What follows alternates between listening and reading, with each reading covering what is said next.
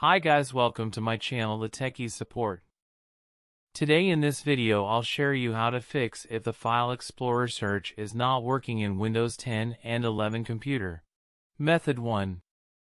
Open Task Manager, just right click on Start button and then click on Task Manager to open it, now locate Windows Explorer. Now once you have located it right click on it and choose Restart and then try again your problem will be fixed. If this does not work, let's move to method 2.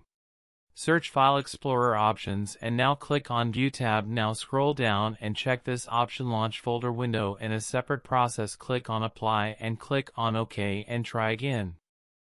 If this also does not work, let's move to last method just search services. Now locate Windows Search Service. Double click on it. If it is not running, Click on Start to make it running. Also choose Startup Type as Automatic.